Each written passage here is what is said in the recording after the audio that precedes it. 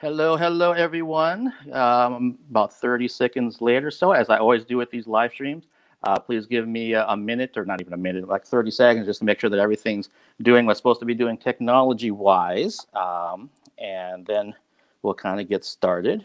And let's see where we're at with this. Dun, dun, dun.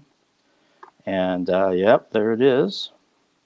So yeah, things are looking really good. I hope uh, I understand some people are probably uh, watching something else that's on the networks right now, but um, the live streams will stay up um, on Facebook and also be on YouTube, YouTube as always.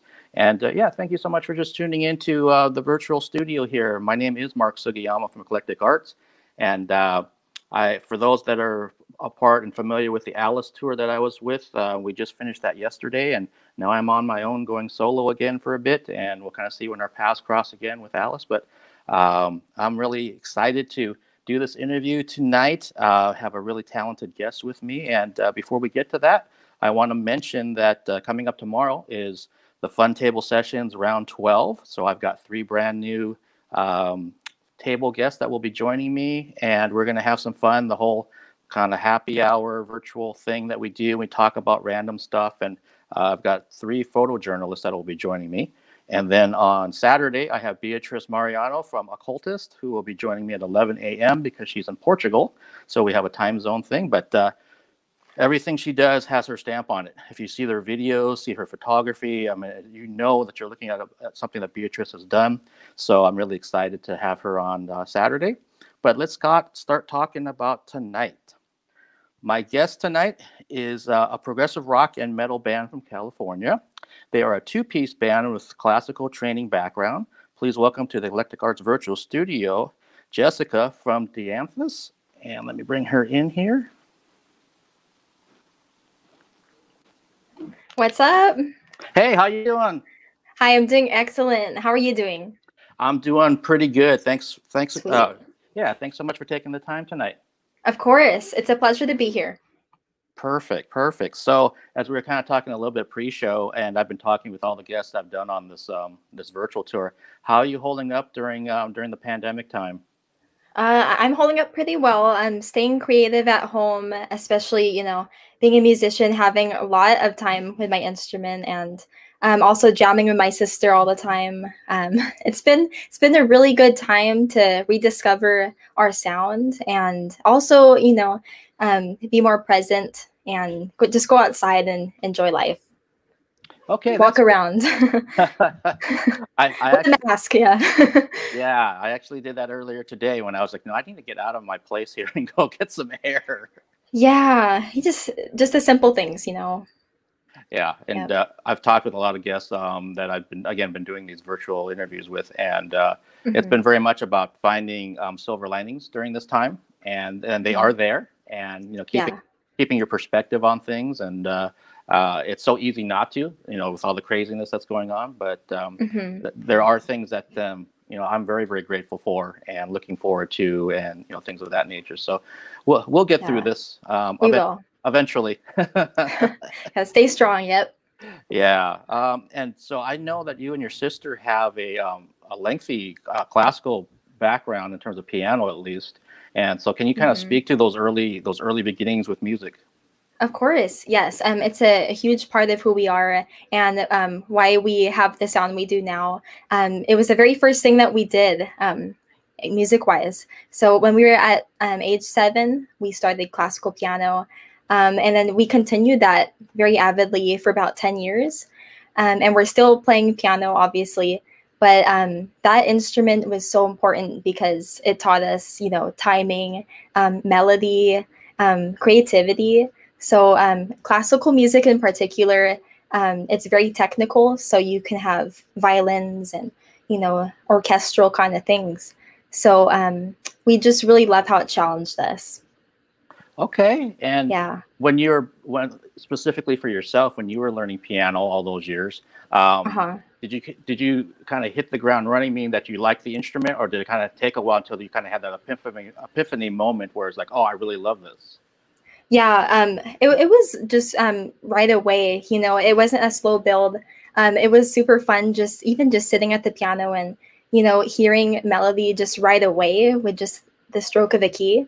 Um, it was very exciting and um, also starting to read music too and um, cover songs like just like little simple songs from um, stuff I've heard as a kid um, was really exciting. And my sister and I too, so we did um, duets as well. So she'd be on the the bass clef and I'd be up on the higher end of the piano. So it, we had like little healthy competition too. it's always been fun. Nice. And I, I know they've talked about uh, being a musician myself that when you learn piano, it's one of the main instruments in terms of songwriting. Um, it's such a huge uh-huh. tool to have as your as your background. And yeah. um, I'm kind of jumping ahead here, but did that um, kind of factor into how you approach writing songs now with uh, Dianthus? It definitely does. Yeah. Um, like I mentioned earlier, it's um, it's been the foundation of um, all things music for us. So we always approach um, the drums and the guitar in a classical kind of way. So um, sometimes we like to be raw and do less is more, you know, old rock and roll. But um, classical has really trained us to think a little bit deeper. So, you know, about, you know, song structure and how um, the timing is, you know. So, um, yeah, it's always, you know, taught us to be very technical with our sound. Okay, yeah, that would make sense. I mean, when I was listening yeah. to some of the uh, some of your music, then it was like, yeah, there's obviously a progressive element going on. There's a metallic mm-hmm. element. There's a lot of melody for sure in your music, which is nice to hear. Um, Thanks. Yeah, and I'm, I'm curious that uh, with you and your sister being um, a two piece, was that something that you just kind of organically said, well, let's kind of jam on some stuff and we'll just kind of move this forward? Or did you ever think about, well, we should get another member or a couple other members? Yeah, um, well, it didn't start off that way. We originally um, wanted a full band, and we actually did experiment with members, um, girls and um, boys as well. Because um, you know the classic metal setup is a four-piece kind of band. You have your two guitars, um, singer, bass player, drums. So we had that setup for a while, but writing music was very different because you know my sister and I. Uh, we are twins, and so we have like a telepathic kind of way that we write. We finish each other's sentences musically. So um, it was kind of, you know, a bit tricky for other members to catch on to that, um, as well as performing live. We just, you know, we had that chemistry. And um, after a while, we're like, we wanted to challenge ourselves and, you know, just be a two piece and do kind of even more work at the same time. Okay, that makes sense, especially with your backgrounds. That's just kind of almost like a challenge. Like, why don't we incorporate bass and keyboards and anything else that we want on our own? Uh, right. To your songs. Okay, no, that makes a lot of sense. Uh-huh. Um, how did you figure out who was going to play what initially when you kind of went from piano to your your various instruments? um, it was kind of a funny story, um, kind of like the Van Halen story a little bit, because um, I originally um, wanted to pursue guitar um, to, to in particular actually was um, the acoustic guitar I wanted to try. And then, you know, I tried it and for some reason I wasn't getting that coordination. Um, it was a little bit hard trying to match up my hands with just playing everything that, that way. So I kind of gave up on it and, you know, my sister tried it out and she's actually left-handed. So she actually had a natural inclination to it. So she picked it up right away. And um, I thought drums were really fun because you don't have to hold back and play the right note. So um, I, I, chose drums, and um, the rest is history. It was really fun. Okay. And and when so when you were first learning um, the drum kit, was that something you were just doing on your own because you had a music background, or did you take some lessons on top of that, or how did that work? Yeah, yeah. I always um, you know took lessons with a teacher, and um, you know obviously now um, I'm self-taught and I kind of learned through YouTube and stuff and um, my own kind of experimentation on on things.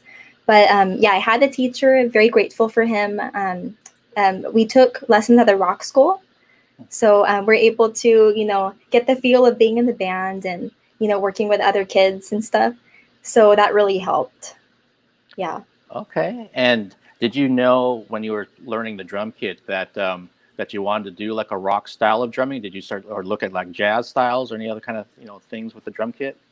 Um, you know, ironically, um, you know, not really, not really um, jazz, but you know, every time I thought of drums, I just thought of rock.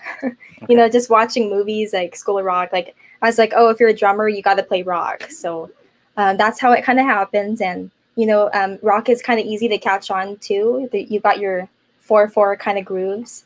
So um, you know, the fact that I could catch on really fast, it made it more fun to get into that genre. Yeah, no, that, that makes sense. I know, like for uh-huh. my for myself, um, my brother was learning jazz, and then but we both grew up with rock and heavy metal and that kind of stuff. So when I grabbed yeah. guitar, it's like, well, let's learn a power chord. yes, just go for it. Yeah. Yeah, because you want to be able to play, you know, the songs that you like or some kind of song, something. So you, you have to emulate. Yep yeah, you can impress your friends or whatever, or, or embarrass yourself, one of the two. But it's all a learning experience for sure. Yeah, and uh, so when uh, you and your sister first started writing your own material, um, when you're playing drums and she's on guitar and all that, um, what was that process like, or what is it still like now?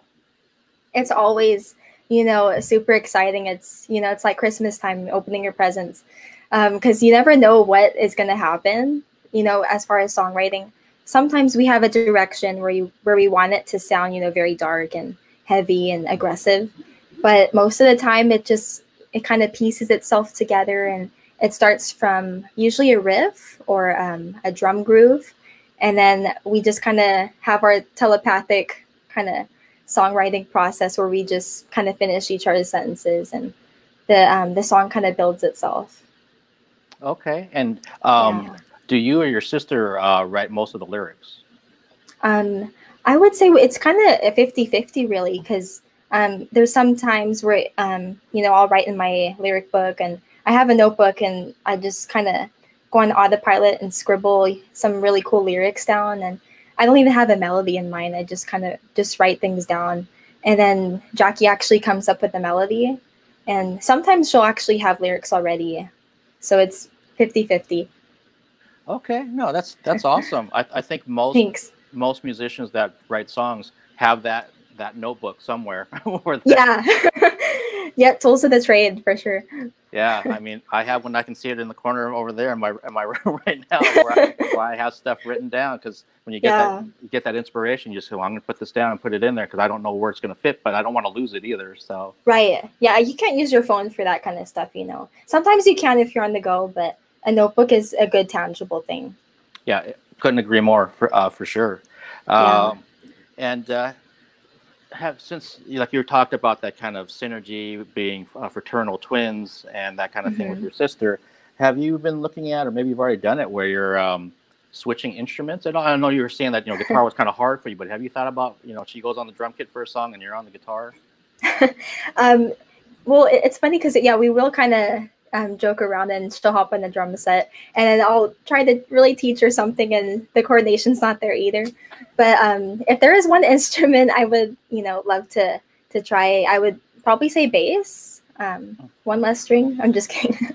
but yeah, uh, bass is it just seems really cool because it's it's very important with drums because it's got that you know that synergy with drums and bass and groove. So probably bass. Um, and you know just singing in general because I do do backups on drums, but yeah, to sing and play piano is fun. Okay. Yeah, no, and that makes sense too when you're talking about learning bass and, and being that rhythm section. Um, yeah. How, how, they work off each other. Mm-hmm. Um, I've mentioned this story before to other guests that uh, I was playing guitar, but then like when I was in high school, um, I owned a bass. So, and there weren't any bass mm-hmm. players. So it's always like, well, Mark, why don't oh. you play bass since you have one? So like, right. by, yeah, by default I learned it, and then it wasn't so much later that I started understanding how it worked together. Um, oh, nice. Uh, with the drum kit, and you know, find, mm-hmm. yeah, finding that groove and finding how those things really have to kind of come together. Um, yeah. So you know that, that makes that makes perfect sense for, uh, to me for sure. And uh, awesome. Uh, yeah. Yeah, and uh, um, I saw that you have a, a remastered release um, that is. We do.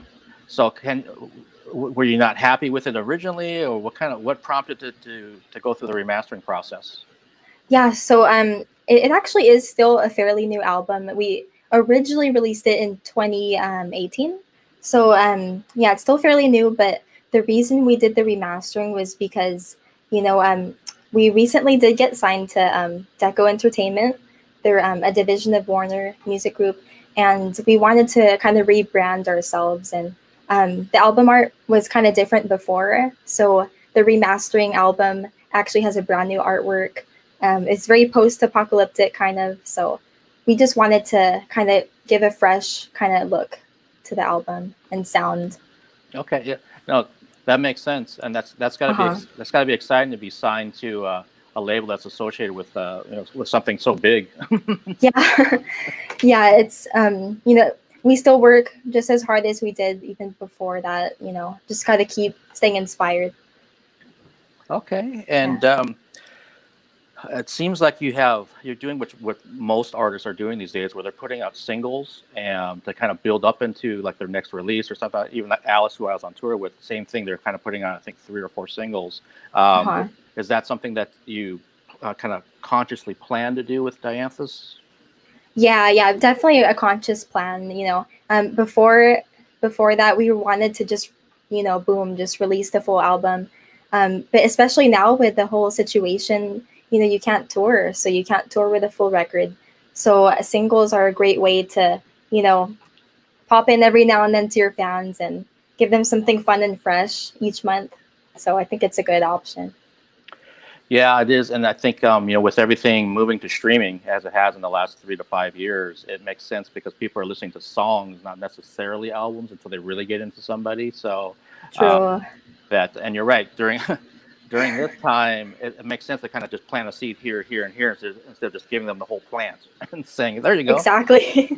yeah, you know, because they, they have to have time to process, you know, what, what you created and you want them to take each song very seriously too. Right. Yeah. Right. Um, and with with Dianthus's sound, um, what kind of influences do you and your sister have, uh, like musically? Who were you, kind of your heroes growing up? Yeah. Um. Well, you know, once we got into rock and roll and and metal and stuff, um, we we loved the classic rock bands. So definitely like fans of you know Van Halen, of course, Rush. Um, you know, even female fronted Heart, Pat Benatar, Joan Jett. You know, um, you know, aesthetically, musically. Um, but as far as like metal and progressive, um, you know, we are huge fans of Tool, Gojira. You know, that's a modern metal band. Um, also, um, your 80s rock bands, so like Mr. Big and stuff, just your powerful arena choruses for sure. Love that band. Okay, and uh, I'm just curious, uh, like with the '80s music and bands in particular, was that something you and your sister discovered on your own, or did they come from your parents or an uncle or somebody, or how did you kind of get into that music? To be honest, you know, um, as I mentioned before, how we started, you know, um, at the rock school, um, you know, they would throw these, you know, awesome, legendary songs at us to cover. And um, it was just, you know, something that we had to learn and we really loved that kind of sound anyway. So I- I'm glad that they threw us the 80s rock songs and not something pop based too much. so we kind of grew up more with that. So it's good. Okay, yeah, no, that that see that makes perfect sense. As soon as you start. We start still talking, pop though. yeah. as soon as you start talking about that, it's like, oh yeah, that's right. you, Yeah. you mentioned School of Rock and Rock School stuff, so that would make sense. Um, Of course. Yeah. And for someone like me who grew up during that time, I love the fact that younger generations are turned on to you know an ACDC or a Van Halen or a Rush or um, Yeah. any anything from that era of the '80s. Um, hmm when you actually had to play your instrument and, and learn it. exactly. use your hands, use all your limbs. Yeah. yeah, there was no auto tune or Pro Tools or anything back then. You actually had to be able to play.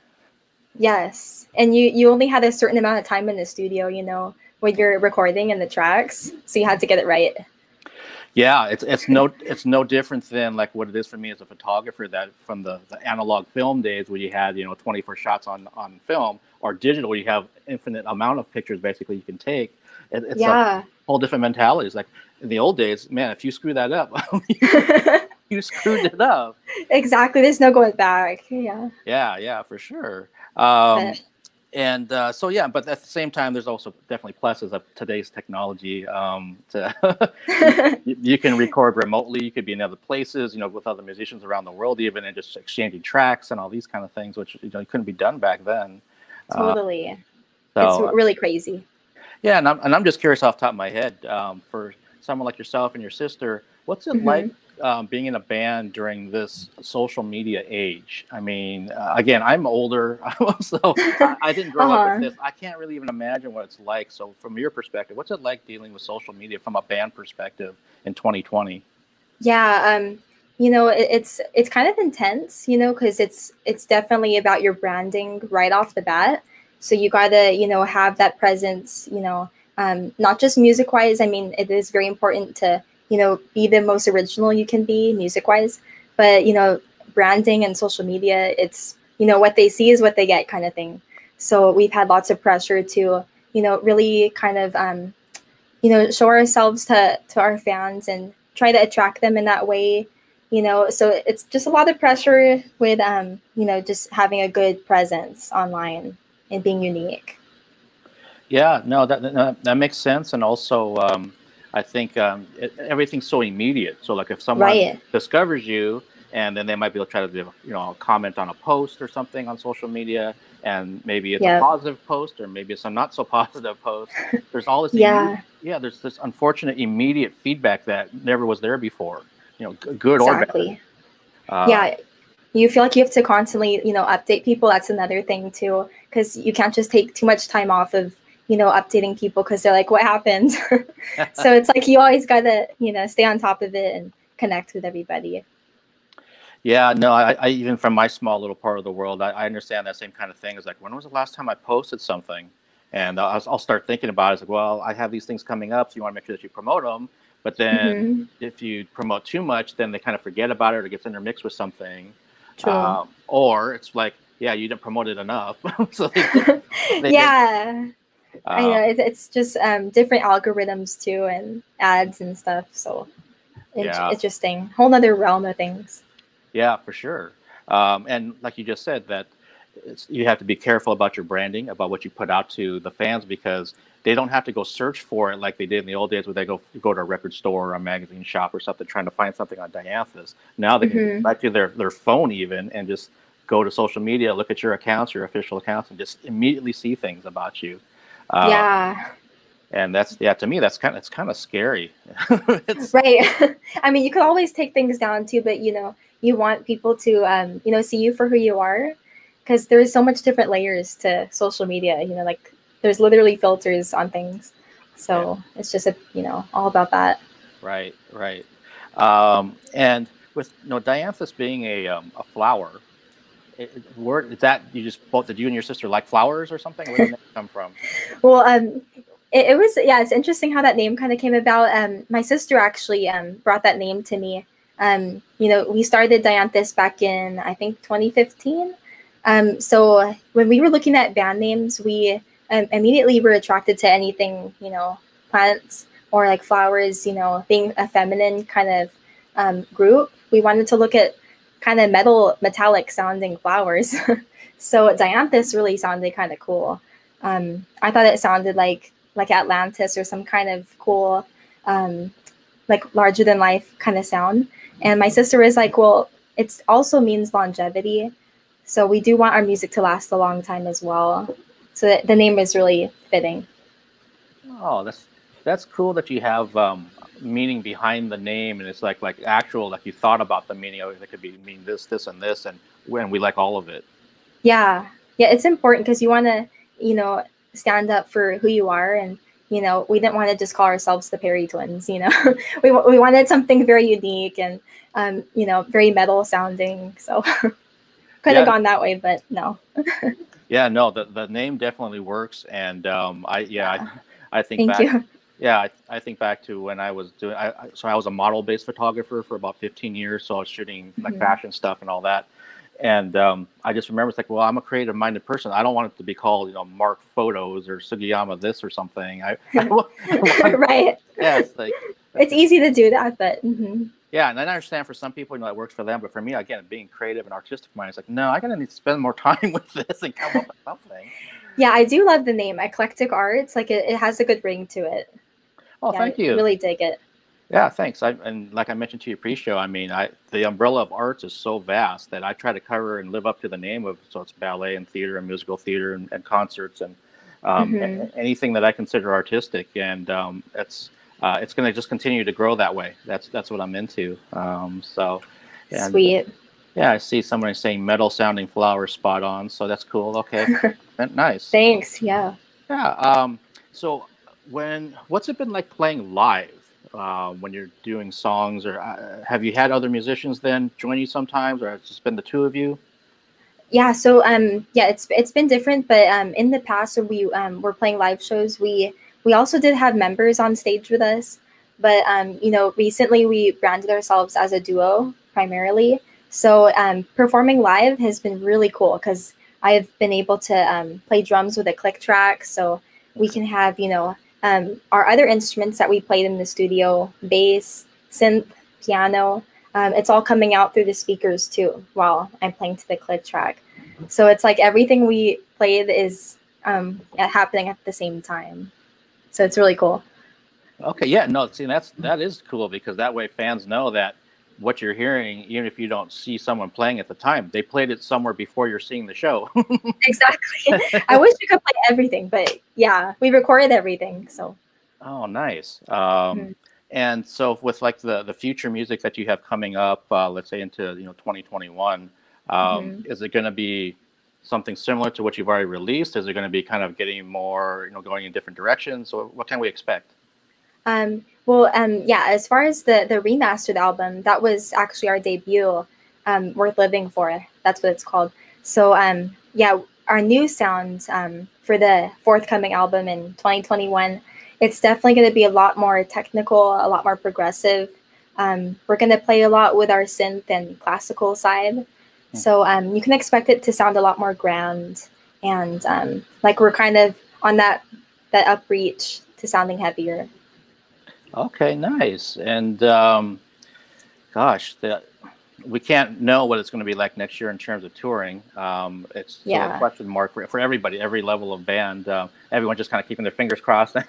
yeah, yep, just holding our breath. but I know they'll come back soon, hopefully. Yeah, for sure. And um, mm-hmm. as, as I've mentioned here and to you pre-show that um, that uh, I just came off of being on a virtual tour doing live streams. Is that something that Dianthus is looking to do in the the interim? Um, you know, we're definitely considering it. You know, a month ago, um, we were kind of thinking of what to do, but I think as the months are going by, more time is passing and things still are kind of, you know, not really secure. We are definitely considering going on like a virtual streaming tour a lot of bands are doing it. Um, Suicide Silence is doing it. Um, you know, I'm not sure about My Chemical Romance, but I know they were on tour before oh. this happened. But I think it'd be really good to take advantage of that for sure.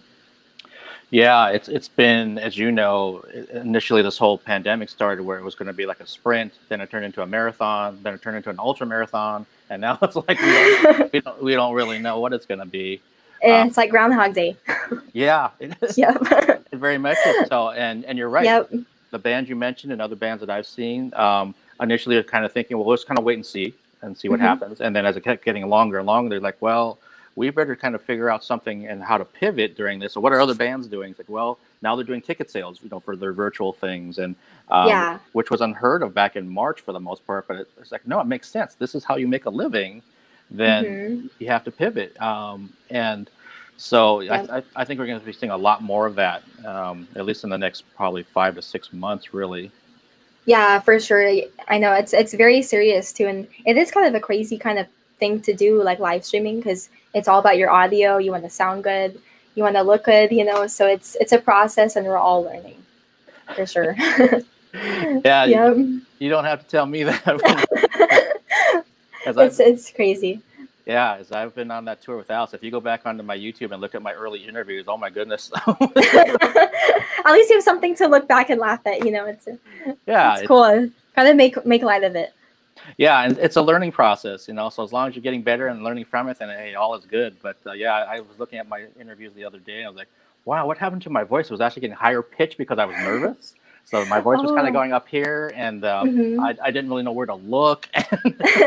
right? Yeah, you lose track. Yeah, subconsciously these things happen, but yeah. Yeah, and that's a good point because I kind of noticed mannerisms I have because you know and this is for anyone out there. And we're mm-hmm. not used to having to look at ourselves in like for Zoom meetings, for business, or anything else. But you keep yeah. seeing yourself all the time. It's like, what's that and what am I doing with my hands and what's what's over there and I know, yeah.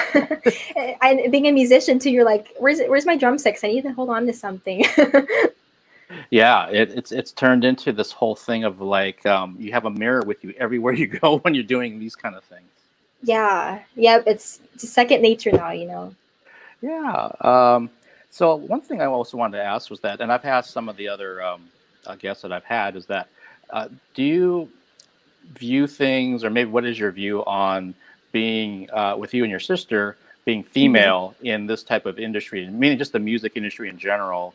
Is it something yeah. that you're consciously aware of, like how you want to, you know, come across, portray yourselves, or is it kind of like we don't give a f and we're just going to do what we do, or a little bit of mix of both? Um, yeah, um, it is kind of kind of a, um, a mix of both. You know, um, we are you know definitely aware that metal is you know it's definitely um, a, a male kind of based genre, and yeah, coming into progressive rock too, you know, we don't really hear about too much you know females playing progressive rock stuff and you know, we're definitely aware of that, but we're also very excited by that because we want to, you know, create something new for people um, visually and musically too. So um, we want to bring a fresh look, a fresh sound to progressive rock metal. Um, and, you know, we chose that genre because it, it challenged us. And, you know, I'm the type of drummer to not want to just play 4-4 all the time. Like I, I love to write, you know, in different time signatures and throw people off, you know, like they're clapping in one second they're like, what happened? so yeah, it's always fun to to do progressive and um, yeah, just being females and in rock, it doesn't really bother us too much. Okay, yeah, no, I love the fact that you love the challenge of the genre. Um, yes, and um, that's why you'll find, as you quite already know, seeing lots of musicians in your audience. Uh huh. exactly. It's just yeah, it's a different genre, you know, and um, you know, especially nowadays, a lot of people are listening to different stuff and progressives kind of, you know, in that the back scene, but we want to bring it back again, you know. It's it can't be a lost genre. It's very relevant. Yes, here, here. I, I love the fact that um, again, a younger generation, a younger band like yourselves are um, embracing that genre and trying to push it back out so other people know about it, so then they can progressive music. Exactly. Yeah, it's all about challenging yourself and being unique. Yeah. Well, Jessica, I've got one more question I would like to ask you before we uh, kind of wrap this up, and that okay. is, what kind of advice would you give to an aspiring young musician like yourselves? Awesome. Yeah. Um, I would always say, you know, don't give up. You know, um, always stay very true to who you are, and don't let you know anyone else that you see kind of affect how how you want to be as an artist. You know, don't compare yourself. That's a really big one um, if you're doing something different, you're doing something right. So that's how I look at it. Always be unique. Very sound advice. Jessica, thank you so much Thanks. for taking the time tonight. And, of course. Um, yeah, I'm looking forward to the, the future releases, and I hope that you and your sister and everyone that you care about stay safe down there. And thank you. Um, yeah, um, hopefully I'll get a chance once we get past this pandemic to actually see you play live. Yes, that'd be awesome. Yeah, we need to meet in person sometime. Perfect. Take Thank care. you. Thank you for taking the time, and um, I will see you later. All right. Rock on.